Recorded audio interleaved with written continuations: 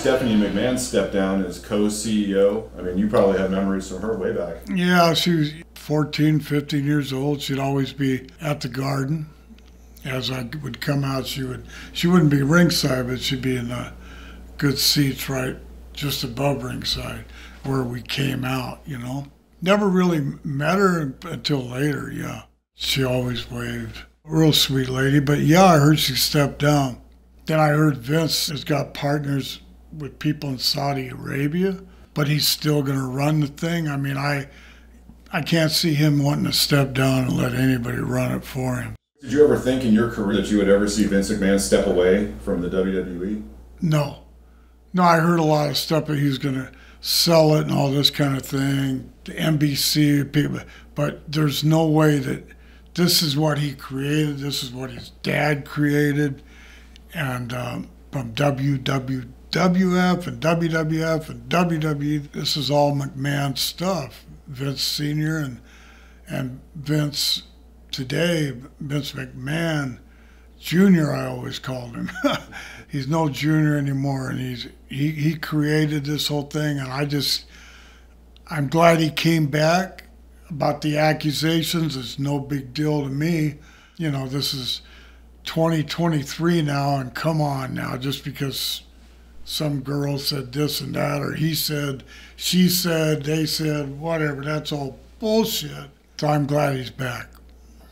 Yeah like you said, it looks like WWE potentially is for sale now. Or could be for sale. They're at least yeah. looking into it. Yeah, but you got all it. It take forever to get approved because you got all the stockholders and stuff. And then I heard about Saudi Arabia and stuff. And you know, Vince is a wheeler dealer, but if he sold to anybody, I would.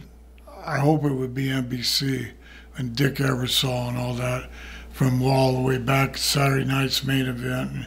So they've always had that connection. And then the WWE network now is Peacock, which is NBC. So it would make sense. Um, I don't know about Saudi Arabia. I, I just think it's they're rich as hell, and maybe it's a way to. If he can coordinate, he's not going to step down. I do not believe that. If he could take their money and they want to invest or whatever, and they're you know he they've been running shows like once or twice a year in Saudi Arabia, so they're big wrestling fans over there. So he'll do the right thing. I hope so. I mean, I I know so. I should say. It looks like this fund uh, is inquiring about it. They already have money in Amazon, Google, BlackRock, yeah. Chase. Yeah. They have money all around the world. Yeah. So you just you take their money, but you don't lose. You don't step down. He ain't got to step down. You know, I, there's no way in hell. This is an American company, WWF, E, excuse me. It's just shifting. You know how these billionaires are, they shift money around, and he's not going to let go. But you think no matter what, wherever it does, if it does eventually sell, that he's going to remain in, in yeah. position of power? Yes. I, that's what I believe.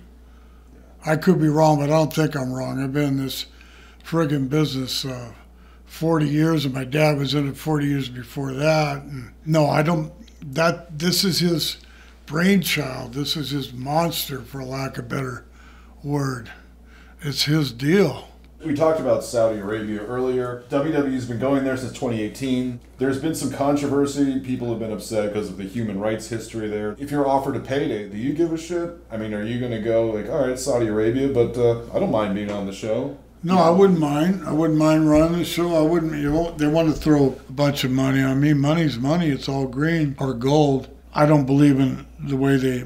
None of those Middle East places like that how they treat women is terrible.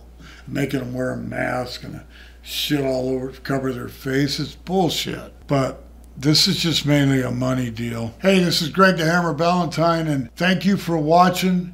We've got more stuff and goodies coming down the trail. Nothing like old school wrestling talk. Watch title match.